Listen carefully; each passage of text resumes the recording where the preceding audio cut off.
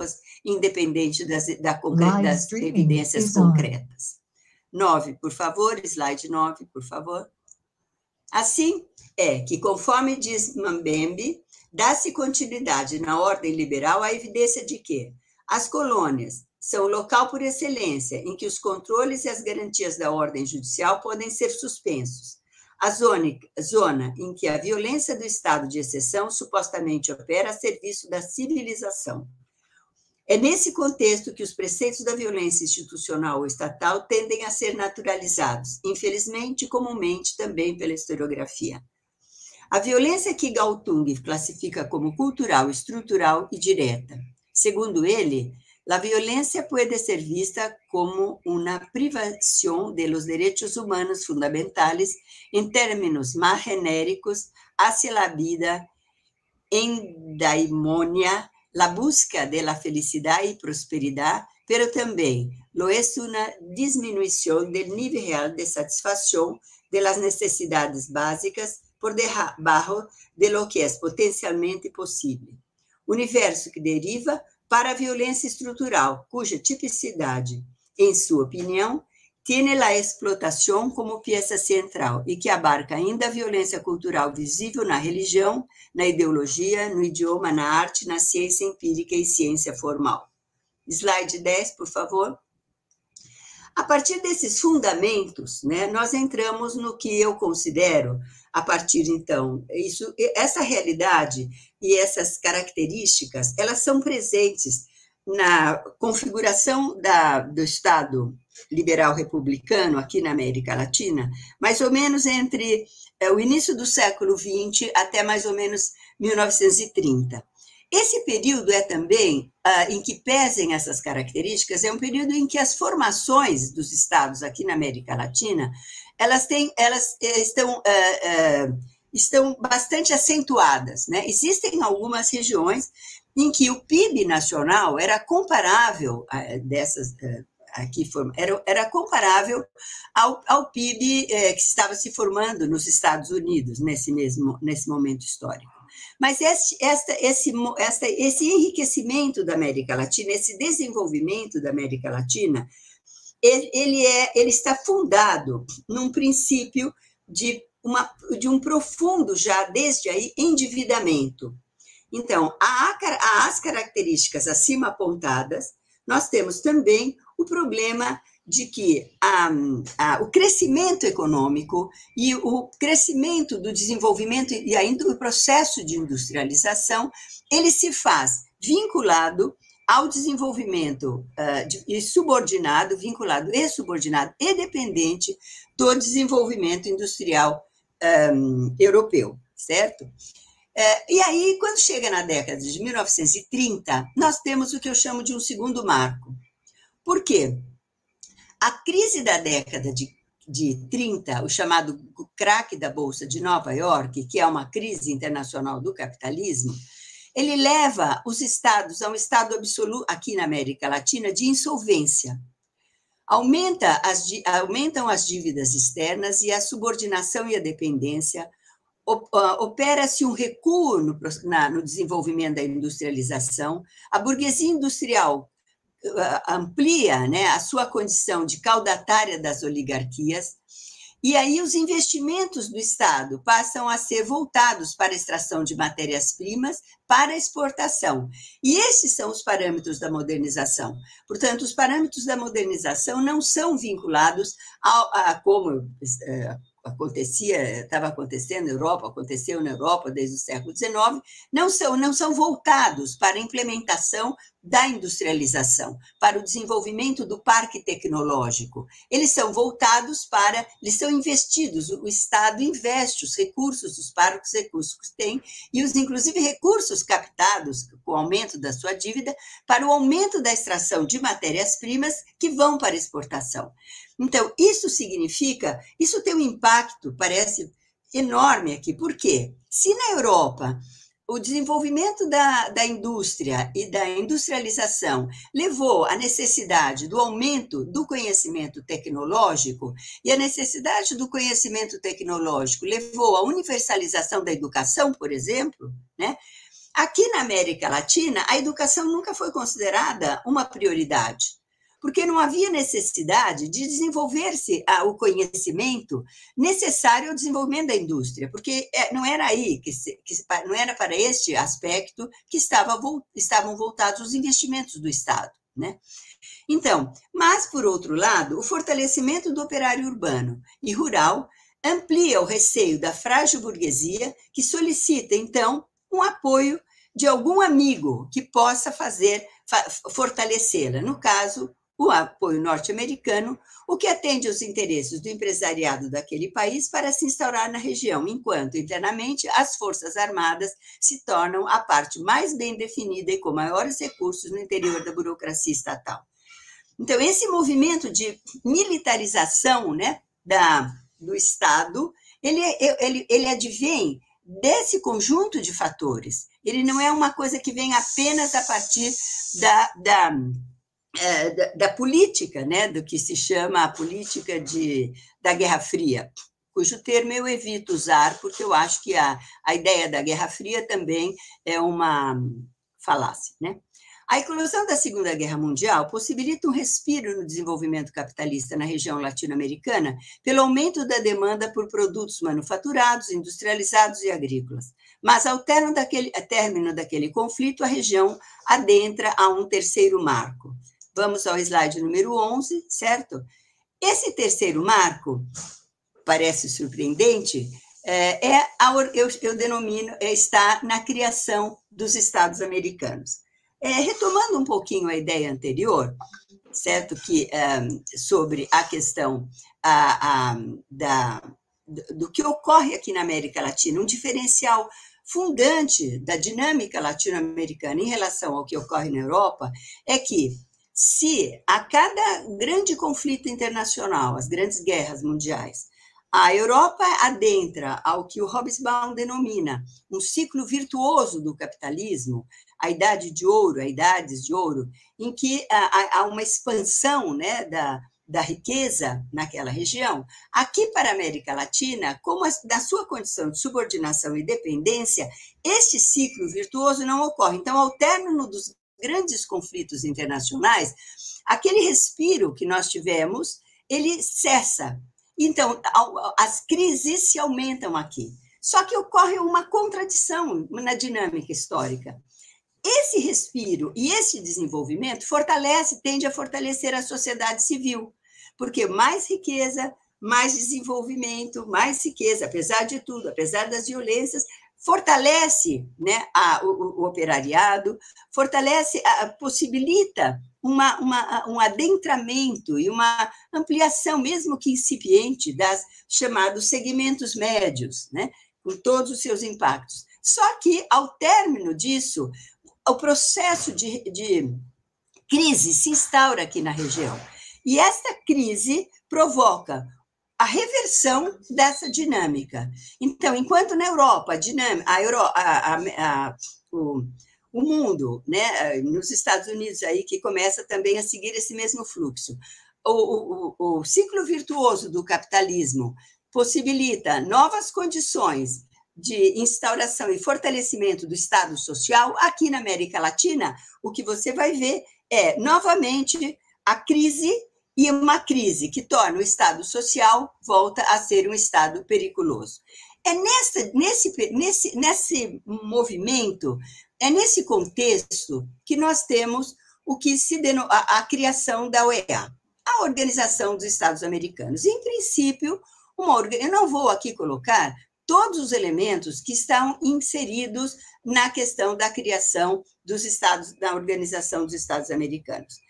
Um dos temas mais difíceis de analisar é o papel dessa, da Organização dos Estados Americanos aqui na América Latina. Por quê? Em princípio, toda a sua retórica, todo, tudo que ela diz, né, tudo que ela defende é exatamente o Estado democrático. Tudo que ela defende é exatamente a, a, a democracia. Mas temos um pequeno problema nessa questão. Neste, a, no, a, a, a OEA ela vem criada no bojo de uma circunstância em que a condição de dependência e subordinação vão manter, vão fazer com que os países da América Latina e as decisões sobre o que ocorre aqui perpassem por aquilo que são as diretrizes e pelos interesses do parceiro maior da burguesia autocrática, que é, que são, que é o governo norte-americano e o seu empresariado, certo? Então, a lógica, isso vai fazer com que ah, aquilo que o Grandini denomina um sistema fechado, certo? Ela, a, a, a, criação dessa organização aponta para um momento de grande diferença entre a dinâmica europeia, norte-americana e os países latino-americanos. Enquanto aqueles países entram em uma dinâmica de consolidação de sua internacionalização e ampliam suas interrelacionalidades em todos os âmbitos da esfera sociopolítico, econômico e cultural, a América Latina torna-se um sistema fechado, pois todas as decisões políticas relativas ao desenvolvimento de cada país da região passam por um crivo, sob a tutela das diretrizes norte-americanas. A partir destes organismos, as ações intervencionistas passam a ser justificadas e a paz, passam, acabam por ser referendadas por este organismo. Ou seja, por mais que tenha havido, por mais que se busque, já que a OEA seria, em princípio, um organismo de, de defesa dos direitos de democracia, todas as demandas, todas as denúncias que, que passam por aí, elas têm né, o imaginário de que, de fato, serão atendidas. De fato, há uma tensão entre a Organização dos Estados Americanos, quando essas denúncias chegam, os estudos demonstram isso, e, o seu, e seu parceiro. Mas, se nós olharmos a composição das inúmeras comissões que vão se formando, e exatamente quais são as decisões que ela acaba fazendo e qual é a concretude social, né, que se põe aqui na América Latina sob as barbas, né, sob os olhares, né, e só com a anuência direta ou indireta, certo, da organização dos Estados Americanos, conclui-se por sua total e absoluta inoperância do ponto de vista da possibilidade de impedir que esta violência se instaure. Mas não é só isso a sua existência e os seus preceitos e o fato dela não conseguir atuar, quando seria esta a sua função, ela justifica e ela acaba validando toda a violência institucional e todas as intervenções que, que, uh, que são é, é, perpetradas, certo, aqui na América, nos países latino-americanos. Nós viremos isso com mais detalhe quando chegarmos conforme adentrarmos, né, avançarmos no século XX. O slide número 12, por favor. Ou seja, nessa linha, a, o, que, os elementos da Carta da OEA é, vão servir para justificar, vão dar ganho, não para impedir a violência institucional, ou para fazer para que se, é, se criem impeditivos internacionais para essa violência internacional. Pelo contrário, elas vão servir de justificativa para o controle das populações, que passam a, passarão a ser consideradas, estas sim, aquelas que são ah, as, os atores e os agentes da violência social. Então, cria-se uma, uma leitura né, de que a violência social predominante aqui nesta região, e ela de fato será enorme, não no sentido de violência social cotidiana entre as pessoas, mas por conta da situação extrema em que chegamos, das absurdidades da violência institucional, inclusive, é, geram-se e das reações a, gera um estado de extrema violência. Só que estas violências, então, à luz da Carta da OEA, é, serão justifica, é, serão é, é, os elementos que vão justificar o aumento da violência estatal. Não é fácil trabalhar com essa, essa lógica, porque você tem aquilo que é o que está escrito, aquilo que é o impacto, aquilo que é o sentido e a função social que ela cumpre, que é muito diferente da função social que a letra da, da, da carta diz, né?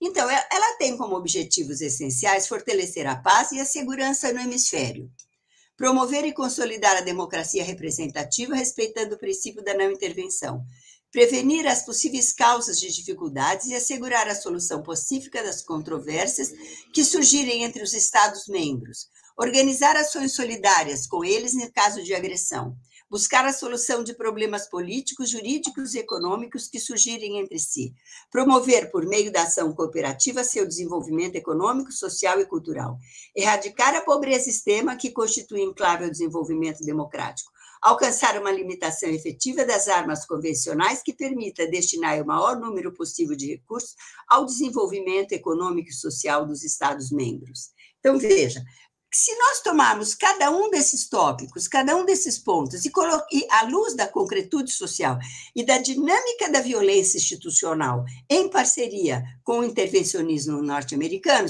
nós teremos a comprovação absoluta do, de qual foi efetivamente a do qual tem sido efetivamente a função social que este organismo cumpre, que, no meu entender, certo, que não vamos aqui deixo aqui para os estudantes novos, né, para o pessoal que vai fazer novas pesquisas, mas no meu entender, é a função vai ser efetivamente garantir e dar as justificativas para que a América Latina se mantenha como um sistema fechado.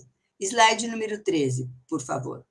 Mas, em que pese, assim, em que pese a avaliação positiva da própria OEA sobre sua atuação na região e as inúmeras comissões que desde então vêm sendo formadas, os limites de sua ação estão impostos, tanto pela não interferência nos assuntos externos, quanto por sua inoperante anti-ação estadunidense na região, que, apoiada pelos segmentos dominantes e receosos do fortalecimento da sociedade civil, intervém diretamente e indiretamente através de políticas formalmente definidas e reconhecidas internacionalmente, sobre as quais há uma extensa bibliografia.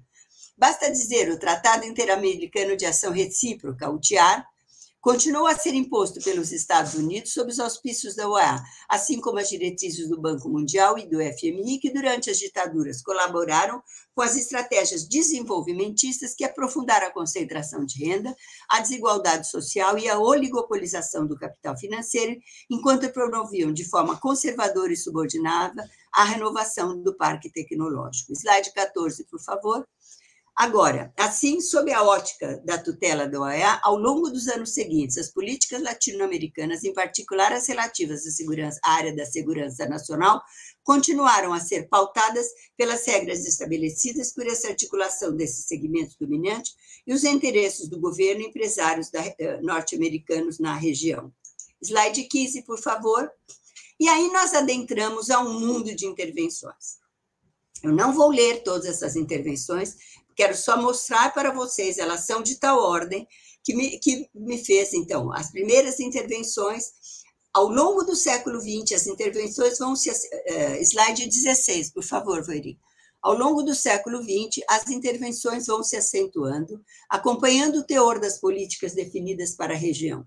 Aí vem uma série delas, né? As, os marines na, na República Dominicana, em Cuba, novamente na República Dominicana, um, os, a, a, na Nicarágua, no México, é, Haiti, é, é, Honduras, tudo em, é, em nome da defesa da democracia, tudo em nome dos princípios da OEA. É, é, impressionante, porque você olha os argumentos né, que são dados tanto por, pela, por, pela, pela, pelo, pelos assessores intervencionistas, pelo governo norte-americano, quanto pela autocracia é, burguesa né, aqui dominante, certo? ou pelos é, é, bonapartistas, né, é, que têm como agentes laranjos militares, são todos eles calcados no princípio, nos princípios da OEA. Portanto, em nome daqueles princípios, você tem uma, uma, uma situação de absoluta. Uh, uh, passemos para o slide 18, por favor, Boirim. Então, as invasões estadunidenses, certo? Que continuam, fiz aqui apenas uma breve retrospectiva, para passarmos para os incontáveis golpes de Estado. Novamente, uma série infindável, né, que está lá no slide número 20, uma infindável de golpes de Estado, certo? Que vamos passar para o slide 21, por favor. Assim é que dão continuidade ao apoio às ditaduras, como já o haviam feito em 30. Na República Dominicana, com a ditadura de Trujillo, o militar surgido da Guarda Nacional, fomentada pelos Estados Unidos. Estados Unidos deixa Nicarágua sob controle de Somoza. No Panamá, é o deposto do presidente Arias. E o governo apoia a ditadura de Fulgêncio em Cuba, inaugurando uma uh, sangrenta tirania. Em 22, certo? É, é, nós temos a continuidade desses, e eu trouxe apenas aqui para no slide 22, desculpa, slide número 22, também alguns exemplos dessa, desse número infindável né, de, é, de, de intervenções, inclusive com algumas é, falas, né, algumas citações de como que os governos, os presidentes norte-americanos estavam vendo, né, muitas vezes algumas expressões bastante cínicas, né, em relação a esse a essa questão. No fim desse, desse slide 22, no último parágrafo, você tem, vocês se lembram quando, por exemplo, apenas para dar mais um exemplo, que no último item da carta da OEA diz que ela vai impedir a, a venda de armas aqui na região. Em 1966, os Estados Unidos envia armas, assessores e boinas verdes na Guatemala, só para dar um exemplo, para implementar uma chamada campanha contra insurgente, promovendo massacres entre a população camponesa daquele país. Os dados sobre esses massacres, só estudar os massacres do, uh, engendrados pelo Estado daria um ótimo tema de pesquisa, uma, um belíssimo tema de pesquisa para entender, certo? E aí nós adentramos a década de 80. Mas uh, que então a, a assistência norte-americana inicia uma nova fase, né, da, da, política norte-americana. Então, em vez das invasões diretas com seus marines, certo? Embora ele continue ainda, mas os Estados Unidos vão adentrar, certo? A uma nova forma de, de, de assistência, né? Que é também a assistência na formação uh, intervindo nas eleições e é praticando cada vez mais o que se denomina ações encobertas, que é uma lógica que nós estamos estudando bastante aqui agora, o que, que significam as ações encobertas. Porque as ações encobertas fazem parte de uma forma de guerra, a chamada guerra é, contra-revolucionária, também chamada guerra suja, também denominada guerra híbrida, e que, na realidade, abarca um conjunto enorme de estratégias que estão condensadas numa, numa, num programa uh, denominado Operação Fênix. Né? Nós temos aqui uma pessoa, que é a Cheyenne, que está se tornando uma grande especialista né, nos estudos do impacto da Operação Fênix é, como estratégia de, das chamadas guerra híbrida, ou guerra suja, ou guerra de baixa intensidade. Todos sabemos a que, estamos, a que estou me referindo, são, é aquele tipo de guerra que se faz é, a revelia né, dos tratados é, de, internacionais de direitos humanos definidos para a guerra, mas que, mas que estratégias que são aplicadas em situações de, de democracia certo? Isto é, não são apenas nos momentos das ditaduras, mas elas são aplicadas durante a vigência de períodos denominados democráticos. Tudo isso nos leva ao seguinte cenário. Este é um cenário que nós temos das ditaduras na América Latina. Eu não consegui colocar aqui os golpes de Estado e não consegui colocar aqui ainda os massacres e muitas outras coisas, porque também o mapa ficaria muito poluído.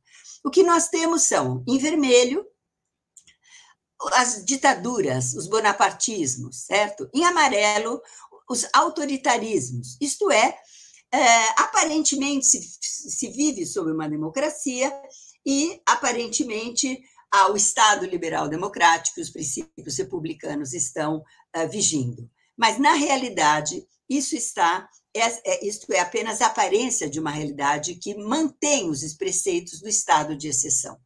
Então, isso engendra uma, uma, uma situação de, é, é, de uma profunda violência. E eu faço aqui uma pergunta: alguém acredita em sã consciência que um país que passa 30 anos numa ditadura rapidamente eh, passa para uma democracia, para depois cair novamente por mais 30 anos numa ditadura, é como se a passagem de uma ditadura para uma democracia se desse assim como um passe de mágico, de mágica. Vocês acreditam que 20 anos de, de uma ferrenha ditadura atroz, violenta, você, em 10 anos, que é o que acontece aqui no Brasil, no período do interreino do Juscelino Kubitschek, você implanta efetivamente uma ditadura, uma, uma democracia? A democracia é gestada. Ela é, você, de um ano para outro, de 45 para 46, acabaram-se os princípios ditatoriais do estado de exceção que regem as ditaduras? Então, essas são algumas questões que mostram que nós precisamos olhar o que estamos falando sobre o que é a democracia, né? São as democracias aqui. Ora, é óbvio que esse estado de coisa vai, vai resultar no, numa, numa reação social imensa né, numa enorme reação social. Mas antes de adentrar esta reação social, nós temos, por favor, o slide 25, uh, né, uh, Voiri. Nós temos uma situação que eu gostaria de mostrar aqui para vocês, em que como que ocorre, quais são os alguns parâmetros da intervenção norte-americana e como ela se coloca em toda a América Latina. Então, vocês veem em roxo aqui, em cor de rosa, nós temos as intervenções diretas, certo? Diretas, com forças armadas, com armas, com assessoria e tal, que se dá dos Estados Unidos na América Central e no Caribe. Em seguida, essa intervenção começa a se expandir para os outros países da América Latina ao longo do século XX, é o que está indicado em amarelo. Aqui nessas, nessas é, indicações por escrito, nós temos as inúmeras reações. Nós temos as guerrilhas, nós temos as tentativas de revoluções, nós temos as, as, as lutas armadas, nós temos as organizações camponesas, nós temos um número enorme, certo, de reações, de toda ordem. As, as, mobilizações eh, por direitos, até as, as, as, radicalizações que chegam às lutas armadas. Só que qualquer uma dessas mobilizações sociais seja qual for a forma como elas se põem, elas vão ser demonizadas, vão ser consideradas um perigo para o Estado, vão ser criminalizadas. E como, e como tal, elas se enquadram, certo? Nas regras, elas são enquadradas nas regras do estado de exceção. Né? Em seguida, passemos para o slide número um, é, 26, Boerim, por favor. Bom, depois desse período ditatorial que perpassa por toda a, o, a, da década de 80 até meados né, da, da década do, do ano 2000, estou falando genericamente assim, nós temos o que poderia ser as chamadas transições democráticas. As transições democráticas, analisadas ah, no seu conjunto, elas, elas contêm toda, toda ela o mesmo diapasão. A primeira coisa, as regras do estado de exceção vigentes durante as ditaduras não são suspensas. Não se eliminam os organismos de inteligência que controlam e vigiam e prendem as populações. Pelo contrário, no processo de transição democrática para as transições das democracias, ocorrem dois fatores que são terríveis para, uh, para a continuidade, né? E, e contribuem para a continuidade da violência institucional. Um deles é o fato de que as regras do estado de exceção se mantêm, mas não só isso. As regras do estado de, de exceção passam para as forças públicas. Então, há um movimento maior de é, militarização das chamadas polícias, das forças públicas. Então, a lógica da, do estado de guerra, que funda a ação das Forças Armadas, que são voltadas para a defesa da segurança nacional, elas se voltam para o interior da, da, da, das polícias. Isso já tinha começado a acontecer na, na década de 60, com a chamada criação do inimigo interno, quando a, a, a, justi, sob a justificativa de combate ao comunismo, você começa a agir contra aquela sociedade civil que havia se fortalecido na, naquele respiro né, da década de 50. Então, isso vai para acabar com o fortalecimento dessa sociedade civil, você age, né, vão se. Um, vão se instaurar essas democracias, né, que vão cumprir também outras funções, mas ah, ah, cria-se também a lógica do combate ao inimigo interno. Mas durante a ditadura, o combate ao inimigo interno é feito pelas Forças Armadas. Ocorre agora, depois da década de 80, no período da democratização, que o combate não é mais ao inimigo interno, mas o combate ao, à violência social é feita pelas polícias. Portanto, muda-se a justificativa, mas aprofunda-se o processo de violência institucional pela militarização das polícias uh, públicas, que cuidam da segurança pública no cotidiano da vida. E atingem quem, fundamentalmente? Aqueles capazes de, com necessidade de fortalecer uma sociedade civil que faça denúncias daquela desigualdade, daquela situação de excludência, daquela situação de, de negação da sua possibilidade de viver.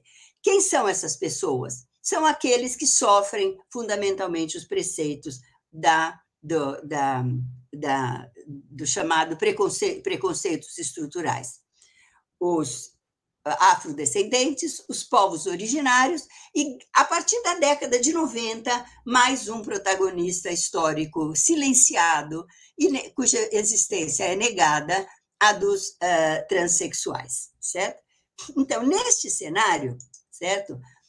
Nós entramos na década de uh, na década em que o, a justificativa, as justificativas anteriores da violência institucional, elas passam agora a ser o combate ao terrorismo, certo? Então, o combate ao terrorismo entra, uh, entra em cena né, com uma força total. E o impacto disso na, no aumento da violência institucional é terrível. Não só o aumento da violência institucional, mas tenta, as, as ações que desmobilizam, que destroem, certo? as, sistematicamente as tentativas de organização da sociedade civil por direitos humanos, civis, de cidadania, etc. Né? Eu gostaria aqui de destacar que, dentre os balanços historiográficos, né, que faz a transição dos golpes de Estado para o terrorismo de Estado, destacamos o estudo produzido por Viorim, Voirim, perdão, por Voirim, por Lisandro, aqui presente, que se interroga sobre a sucessão de golpes de governos constitucionais e governos de fato, comumente instituídos através de golpes de Estado, apresentando as reflexões teóricas dos principais autores que buscaram entender o porquê dessas alterações no desenvolvimento institucional do Estado liberal aqui na América Latina. Mas no curso espaço desta palestra, nós vamos nos ater à apresentação de algumas evidências sobre a incorporação do terrorismo como justificativa para esses golpes. Portanto, não vamos adentrar às questões teóricas, né, que explicam o que, que significa a implantação, né, desses, a presente, a é, a permanência dessas regras do estado de exceção na, na, na, na no, no, chamado desenvolvimento institucional, isto é, no desenvolvimento do Estado liberal. Né? Então, nós vamos trabalhar fundamentalmente sobre a questão da incorporação do terrorismo como justificativa para os golpes, certo? Na década de 90, nós temos um cenário que vai acentuar as desigualdades e acentuar a exclusão social e acentuar, e, e acentuar as regras, né, a, a justificativa né, dos, dos estados é, para o uso né, das violências e a recorrente incorporação dos, pre, dos preconceitos estruturais. Né? Nós passamos do Estado liberal para o Estado neoliberal. Então, não conseguimos implantar o Estado social, enquanto a Europa passa, né, no período, alguns anos antes, para o estado de bem-estar social, nós aqui adentramos as ditaduras. Essa é uma outra grande diferença entre a dinâmica europeia e a nossa. Então, muitos. E a historiografia europeia, gente, quando a, Euro, observa-se, desculpe se eu estiver equivocada, né, falando. É, a historiografia europeia ela acompanha de forma muito concreta a dinâmica das suas próprias sociedades. Quando a Europa adentra o estado de bem-estar social, coloque-se para a historiografia, que já vem com outras crises, uma seguinte questão. Não há por que ah, falar mal ou criticar o capitalismo se, a partir dele, nós chegamos a quase um Estado socialista, né? porque o, estado, o estado de bem-estar social praticamente garante a todos uma equidade no acesso às, às, a, a, aos, aos, bens do Estado, né? no acesso à produção humana, né? com respeitadas essas diferenças, etc. E tal. Então, a, a dinâmica historiográfica ela segue esse diapasão. Então, para que falar de luta de classes? E como diria o Hobsbawm, isso é um primado do século XIX. Não há mais classes, certo? Porque a, a, a classe, ela é, ela é, nós temos sim é, desigualdades, mas as desigualdades são trabalhadas, elas têm que ser demandadas. E a historiografia acompanha isso. E a nossa historiografia acompanha isso também, mas nós estávamos em plena ditadura. Nós estávamos numa situação em que a oligopolização do capital financeiro, em que a concentração de renda, a violência uh, contra as, uh, os trabalhadores, a desregulação do trabalho estava no auge certo? E nós começamos, na historiografia, a achar que esta temática, crítica ao capitalismo e a, a bandeira né, da possibilidade de uma alternativa ao capitalismo, que seria a revolução, também deveria ser abandonada. Isso tem mais mais fundamentos, demanda até mais complexo do que estou aqui colocando rapidamente, mas minha intenção é apenas provocar também, uh, instigá-los a desenvolver novas pesquisas ou aprofundar as que estão desenvolvendo. Né? Então, nesse período da década de 90, nós adentramos, passamos do Estado liberal para o neoliberal. Então, sem ter entrado, ter conseguido ter as características do Estado liberal, nós entramos no Estado neoliberal. Eu trouxe isso tudo aqui porque é muito interessante que há um, problema na nossa historiografia que cada um de nós, principalmente aqui no Brasil, nos outros países latino-americanos isso é diferente, mas aqui no Brasil nós tendemos a analisar a nossa realidade a partir apenas de nós mesmos. Pouco fazemos, pouco associamos com uma realidade semelhante que está acontecendo nos outros países. Então, eu queria mostrar aqui para vocês como que nós saímos, certo? É, como esses governos, né? Collor, Menem, no Chile, no México, no Uruguai, eles têm características comuns. Eles, na época, no, no, eles primam pela privatização do serviço, o Estado mínimo e a desregulação do mercado.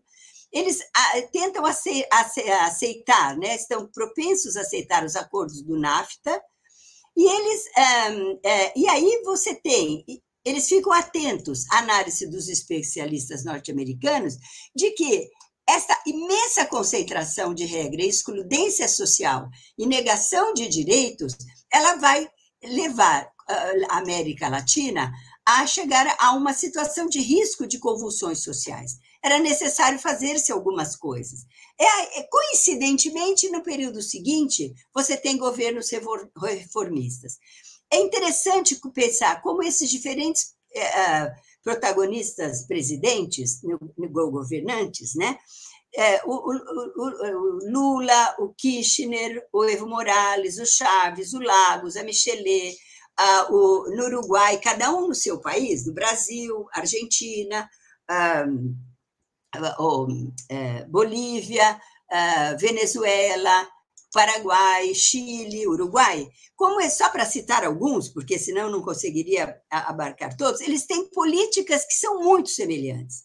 São muito semelhantes. Então, analisá-las de forma separada é muito complicado. E que políticas são essas, certo? Nós estamos no slide 29. As políticas de desconcentração de crédito, as políticas de inserção social e as políticas de integração regional, certo? Eu vou pular, gente, algumas coisas, senão não dá tempo de eu chegar aonde quero e voltar ao ponto.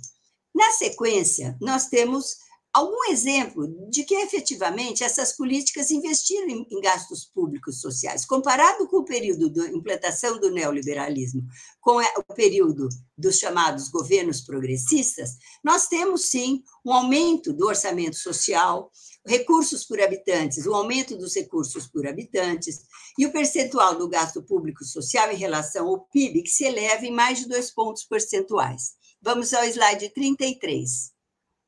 Certo? Concomitantemente, certo? Nesta, neste, nesta, desculpa, é, neste, um momentinho só, vamos ao slide 32, Voelin, por favor, desculpa. Então, veja, nós temos, esse é um panorama de, de como ficou a América Latina com os chamados, a dinâmica né, dos chamados governos progressistas da América Latina. Em vermelho, como não podia deixar de ser, estão os que o, o autor aqui denominou governos de esquerda. Você observa que a maior parte dos países latino-americanos, certo? Neste momento, no, no momento da, uh, dos chamados são governados por aquilo que se, é, pelos governos progressistas, que promovem algumas reformas sociais ou que tentam implantar né, políticas sociais. Então, você vê o, o risco da América Latina se esquerdizar aquele mesmo risco que lá na década de 50, que era o medo da cubanização, levou à, à, implantação aqui da, e o desenvolvimento das políticas da Guerra Fria, agora, novamente, na década de 90, nós temos o risco da esquerdização, o risco da união da América Latina. E se os países latino-americanos se unem, eles se fortalecem. Se eles se fortalecem, eles constituem uma força na ordem internacional. Talvez uma força capaz de ao tentar alterar a lógica da subordinação e dependência. Então, é necessário acabar com essa possibilidade, é necessário eliminar esta condição. É aí que, concomitantemente a este cenário de aparente abertura, de aparente democracia, de aparente respiro democrático, nós temos gestados, certo? As políticas antiterroristas, certo? A partir daí, todos os, os períodos, os países serão estados, é o slide 33, certo? A gestar suas leis antiterrorismo. E assim como no passado, quando as ditaduras atuam sob a batuta das doutrinas de segurança nacional no combate ao comunismo, agora o termo é outro, mas as práticas do estado de exceção se mantêm. Mas com um diferencial importante: observa-se a formação de uma opinião pública, segundo a qual tais violências, impunidades, letalidades e arbitrariedades que violam sistematicamente as regras da lei são necessárias e, mais do que isso, naturais. Daí a pertinência de, da análise de Chomsky, segundo o qual são dez são as estratégias de manipulação midiática da opinião pública. A estratégia da distração, a de criar problemas, depois oferecer soluções, a estratégia da gradualidade, a estratégia do diferir, a de dirigir-se ao público como criaturas de pouca idade, utilizar o aspecto emocional muito mais do que a reflexão, manter o público na ignorância e mediocridade, estimular o público a ser complacente com a mediocridade, reforçar a autoculpabilidade, reconhecer os indivíduos melhor do que eles mesmos se conhecem. Eu tirei aqui a referência historiográfica, mas no meu texto por escrito está indicado, vale a pena retomar esses estudos do Chomsky sobre a função social que cumprem as, as mídias, certo? Na manipulação midiática e formalização e naturalização da, da aplicação né, do estado de exceção, agora sob a égide das regras e nome das diretrizes da chamada lei antiterrorista. Slide 34, por favor certo? Mas o que vem a ser o terrorismo, conforme as diretrizes assumidas internacionalmente, que nortearão as leis definidas pelos países na região latina, certo? Inicialmente, chama atenção a facilidade com que se encontra textos que, embora apontem o impacto desses apoios atos junto à população, acabam por legitimar tais práticas. Apenas a título de ilustração, tomamos um documento que resgata os conceitos de vários autores, procedendo assim a uma base historiográfica que nos serve de parâmetro dessa perspectiva analítica.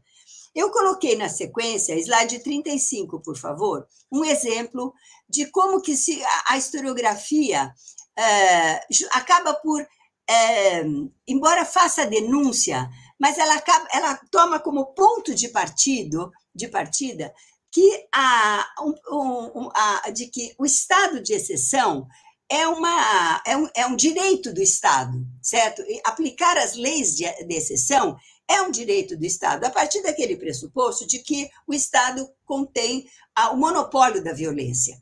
Mas a extrapolação desse, dessa, do monopólio da violência, que gera o estado de exceção em tempos democráticos, o uso das regras do estado de exceção em tempos democráticos, ele, é, os autores passam a denunciar isso. Mas você percebe que nas analíticas não se coloca, não se questiona a, pro, a existência mesma né, da aplicação dessas leis.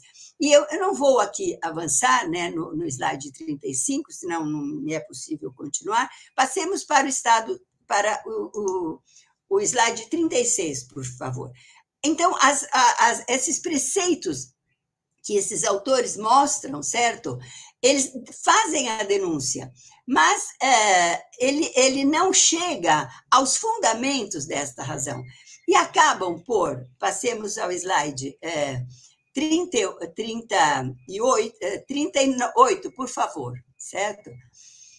É, a, a, a, a, lógica, o estudo e a, resultante né, das análises é, dessa historiografia é, resulta em que é possível observar como o reconhecimento do impacto desses atos sobre a vida das pessoas não remete os autores citados à separação entre a violência do Estado e a social, o que exime o primeiro da responsabilidade por esses atos, restringindo-se estes comportamentos individuais esta a comportamentos individuais de seus agentes. Por outro, os exemplos remetem aos terroristas, ou seja, às ações violentas promovidas por grupos armados, organizados a partir da sociedade civil, e, nesse sentido, corroboram com as premissas das leis contra o terrorismo. Passemos ao slide número 40, por, 39, por favor certo? Eu dou um exemplo sobre o que acontece é, é, é, na, em El Salvador, apenas para dar um exemplo, né?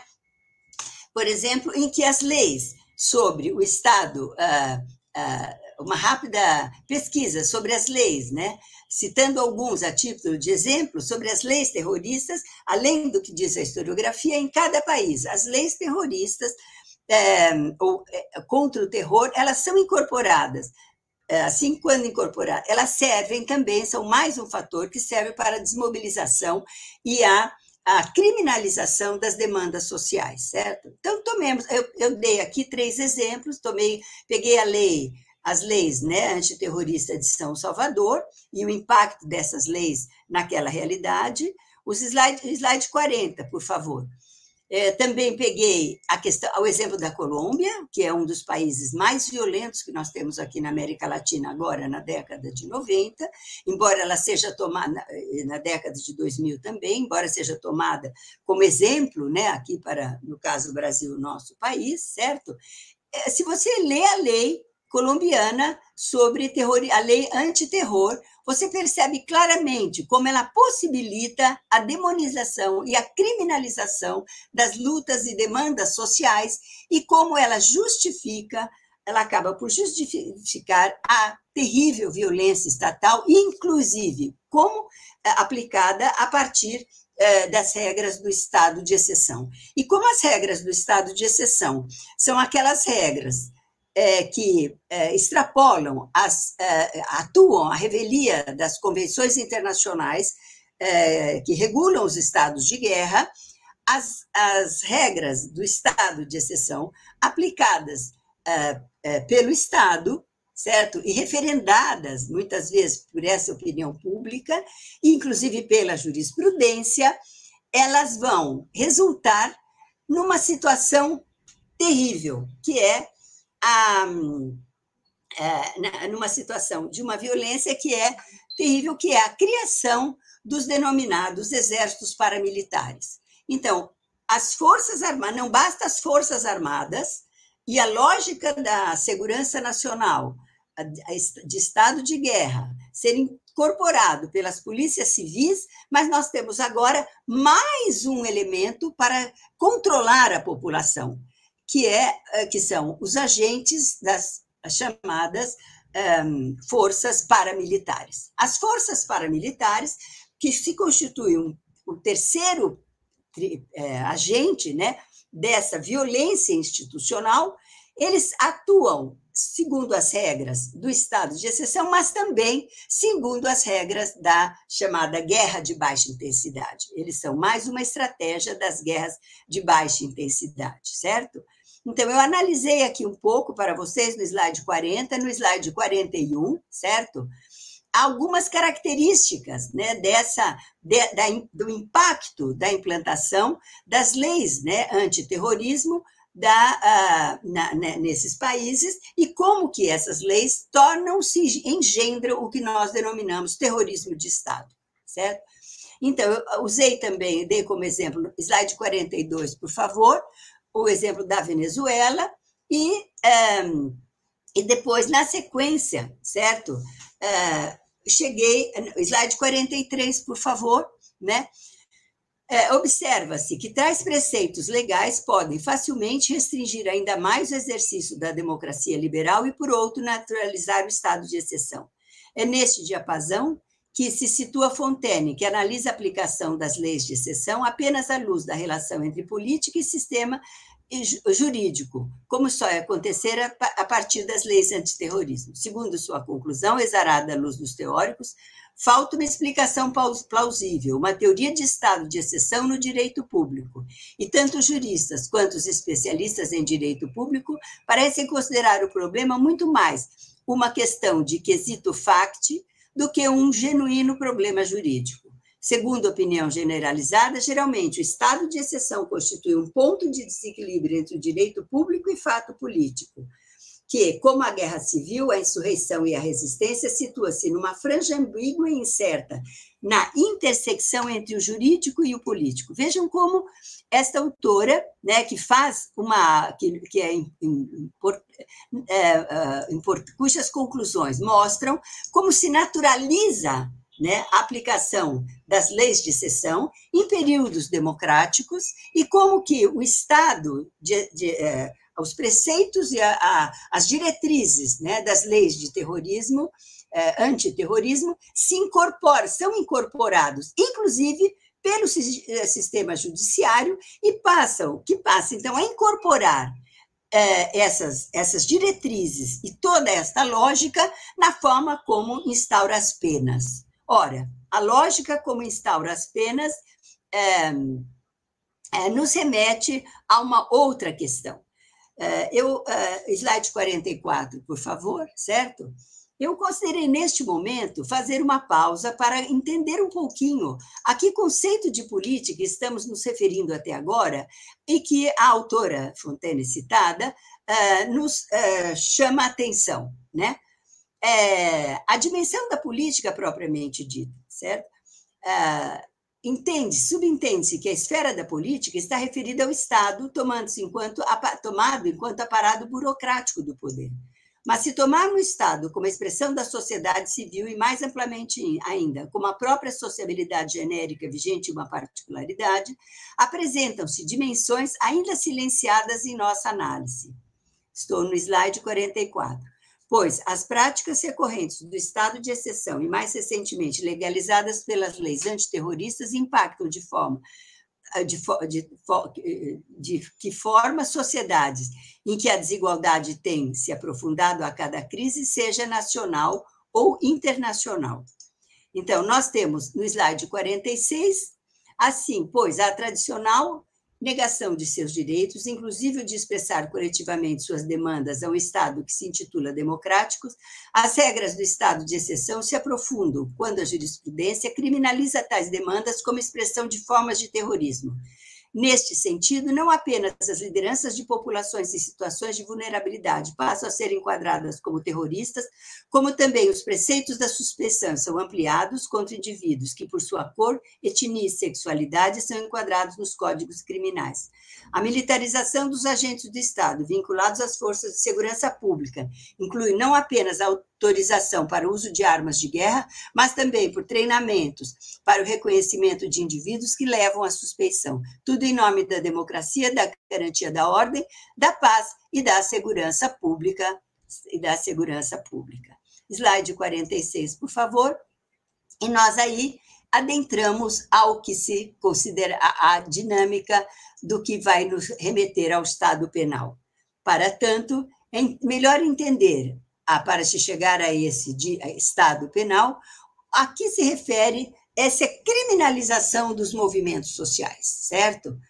O direito, se nós pegarmos o preceito de que o direito penal, o direito público que regula o exercício do poder punitivo do Estado, tendo por pressuposto de ação delitos, isto é, comportamentos considerados altamente reprováveis ou danosos ao organismo social, afetando bens jurídicos indispensáveis à própria conservação e progresso da sociedade, como consequência as penas, incorpora o princípio do seguinte tripé: os que regem a segurança nacional por sua militarização, os que fundam os preconceitos estruturais, racismo, etnicismo, sexismo e criminalização da pobreza, e a lógica do estado de exceção acrescido das diretrizes contra o terrorismo.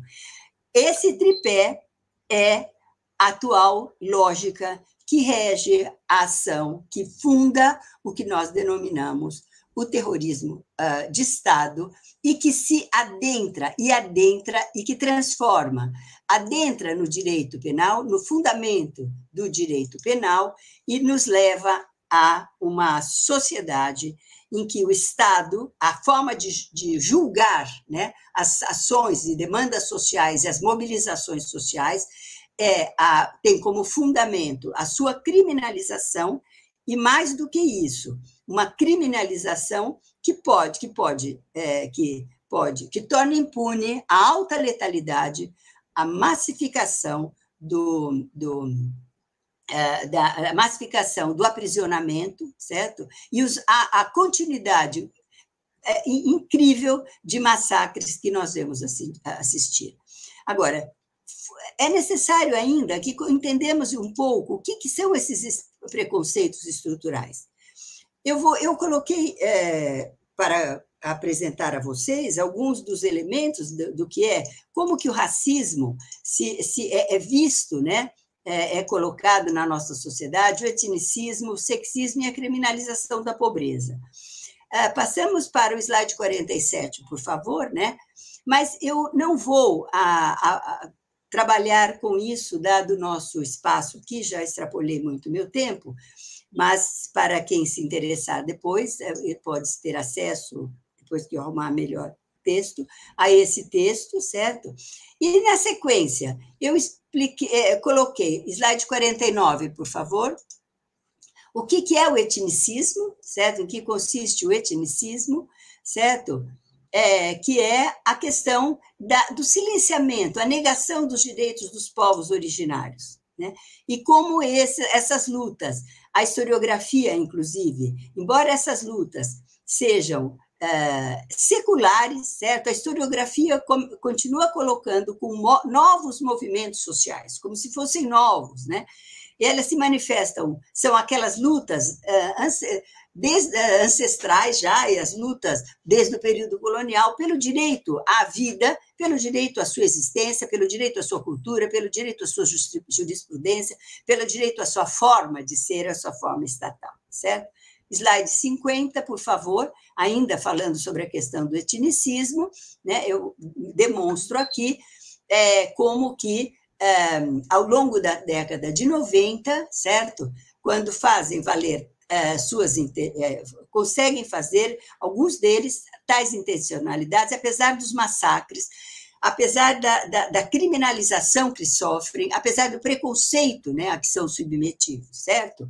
Eles conseguiram fazer reconhecer muitos desses direitos. Eu dou alguns dos exemplos dos direitos a que eles conseguiram é, fazer valer, está no slide 51, por favor, certo? É, mas, é, não, alguns desses direitos, mas passemos agora é, ao slide 51, certo?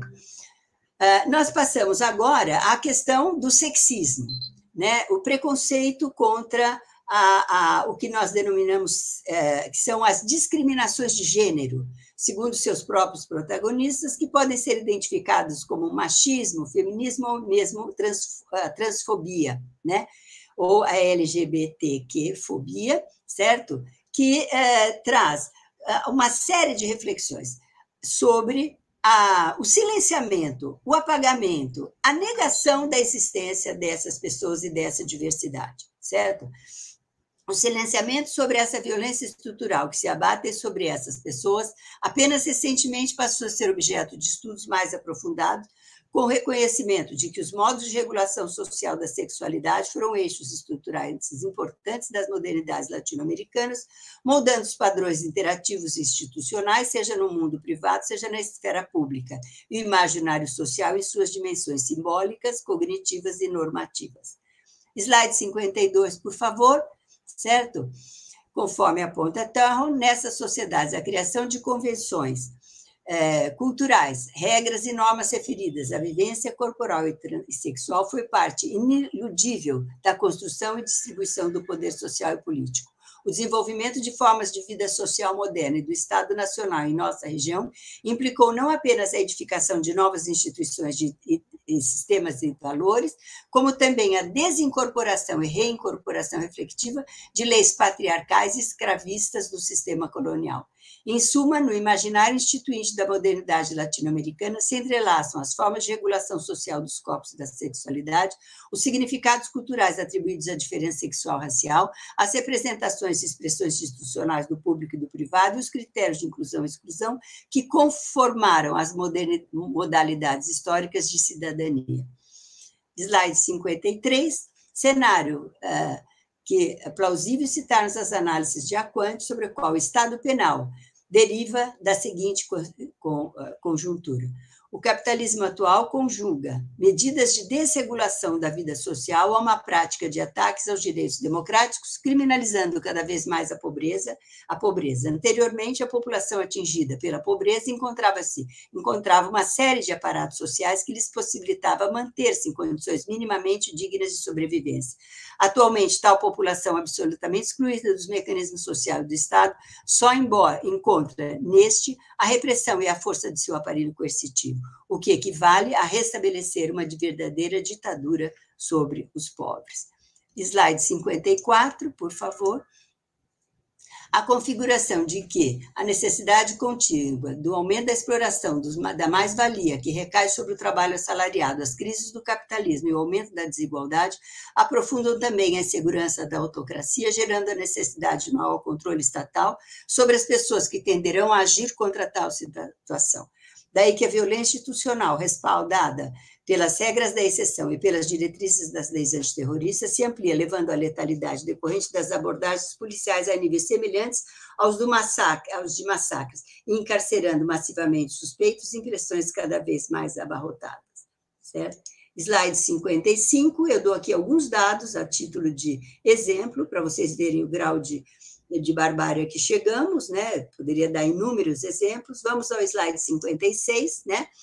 Ou seja, é, que finalizando a nossa apresentação, ou seja, o aumento da violência institucional ou estatal remete ao reconhecimento da vigência da tradicional questão social, que no capitalismo, segundo Castel, abrange o universo dos excluídos que não pode ser abrigados pelo Estado liberal o que não se dirá daqueles estados pautados pelos preconceitos expostos até aqui. Para esse autor, a questão social na contemporaneidade configura-se pela desestabilização dos trabalhadores que se tornaram sobrantes, inúteis devido à ordem do mercado capitalista. Trabalhadores esses que se situam no universo dos afrodescendentes, povos originários e aqueles não aceitos por sua transexualidade, tanto quando uh, são denominados as lutas pela preservação de direitos humanos e de demonizados, né? É, tanto, tanto quanto são demonizados as lutas pela preservação de direitos humanos e de cidadania, ou seja, que, pelo menos a propalada democracia prevista em lei de fato, seja assumida por aquele que, por função que lhe é inerente, deveria fazer valer o próprio Estado, ou seja, o próprio Estado. Agradeço, encerro aqui a minha apresentação pedindo desculpas por alguns atropelos, né, que, é, que se fizeram valer ao longo da apresentação. Me desculpem se eu né, foi transformar um texto escrito né, numa apresentação em slides, às vezes é, demandaria um outro texto, né? Infelizmente, é, a, a apresentação bem, foi o que foi possível fazer. Muito obrigada. Moitas grazas a vostede, profesora. Eh, non simplemente, non simplemente por o feito de participar, senón polo traballo, a seriedade e a responsabilidade coa que sempre eh, súmase a todas estas iniciativas, particularmente dende a rede, pero a todas as que vostede encara e leva adiante. Eh, realmente, obviamente, a estructuración que fai sobre todo en tempos como os actuais, nos cales o, a exacerbación dos pequenos relatos nos leva a observar eh, pequenas particularidades de procesos que atinxen a unha eh, enormidade de elementos estructurais, é dicir, a súa capacidade de levarnos a reflexionar sobre a necesidade de observar aquelas eh, instancias da realidade social ou das realidades histórico-sociais concretas das diferentes formacións sociais, eh, convida a justamente poder continuar avanzando en nunca mellor introducción de introducción de todo o que son as actividades da rede e de este congreso en particular que a vosa intervención. Eu non vou facerle ninguna consulta, primeiro porque a súa claridade é maiúscula, segundo porque creo que se nos, va, se nos solaparía coa seguinte sesión, o simposio A, que é o primeiro simposio de comunicacións, simplemente trasladarse todas as parabenizacións, os saúdos que fomos recibindo mentras vostede estaba facendo a súa exposición, o cal da mostra non simplemente da súa solvencia e a súa impronta e a súa pegada sobre distintos eh, estudantes que agora xa eh, son persoas formadas, doutoradas, eh, licenciadas, xubiladas, é dicir, hai de todo eh, no, seu, no seu percurso como, como docente, como orientadora, eh, son, digamos, son casi como un notario de saber de o que é a súa pegada na formación de diferentes persoas. Eu simplemente saudarla, despedirla, agradecerle enormemente pola súa solidaridade e se dou paso a Paulo César Gómez por se ele quixera facer unha consulta. Professora, é, muito obrigado pela conferência. É, com certeza foi muito enriquecedor. É, toda a sua, foi muito enriquecedora, né? A sua fala, é, muito clara e eu tenho certeza que foi muito útil para todos e todas que assistiram. E o vídeo ele vai ficar disponível, né, para o caso de quem não puder ter acompanhado no momento ao vivo, né, poder assistir em outro em outra ocasião. E também nós vamos divulgar o vídeo, né, nas redes sociais para que mais pessoas possam ter acesso à sua fala e, e possam aproveitar, assim como nós aproveitamos e aprender com a sua produção tão rica e importante para a historiografia, não apenas brasileira, né, mas é, mundial, né, sobretudo já que esse evento tem esse caráter de ser é, internacional. É, muito obrigado, eu só tenho a agradecer e parabenizar pela sua apresentação. Devo falar alguma coisa ou chega? Basta da minha voz. No, eu creo que, digamos, ademais, o último elemento o cal non quería traer a colación ao momento de estar facendo esta especie de feche é que, claro, vostede ha estado a falar ininterrumpidamente, eu entendo que as persoas necesitamos descansar, necesitamos darnos un momento de reposo, o seu esforzo, eh, como decía fai uns momentos, é maiúsculo, a súa capacidade de partixar, de compartir é moi grande, eh, o cal cada vez que necesite falar de vostede, sempre devo de falar com um agradecimento. Eu que agradeço, Boirim, eh, a oportunidade de estar aqui e a oportunidade de debater com vocês. Né? Eh, eu falo de forma muito enfática, conforme eu digo para os meus alunos, mas não se deixem levar pela minha ênfase é, porque isso ajuda a empanar a, a, a crítica, né? Então, por favor, é, eu sou adoro debater, adoro colocar as coisas um pouco de forma radical para exatamente ter os contrapontos, né? Porque muitas vezes a, a, na, no desenvolvimento de uma pesquisa, a radicalidade da fala é vã ante as outras análises né, e outros elementos da concretude social.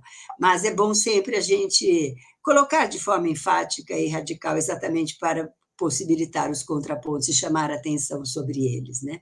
Eu acho que isso funda a crítica, ajuda o debate e é muito salutar e enriquecedor para todos nós. Então, vamos às críticas.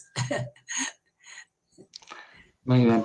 Muchas gracias, profesora. Eh, convidamos a todas as persoas que están asistindo como ouvintes ou como asistentes a que agora eh, podan continuar eh, no, no terceiro encontro no que vai ser o primeiro simposio dos nove que temos en esta, en esta terceira edición do encontro.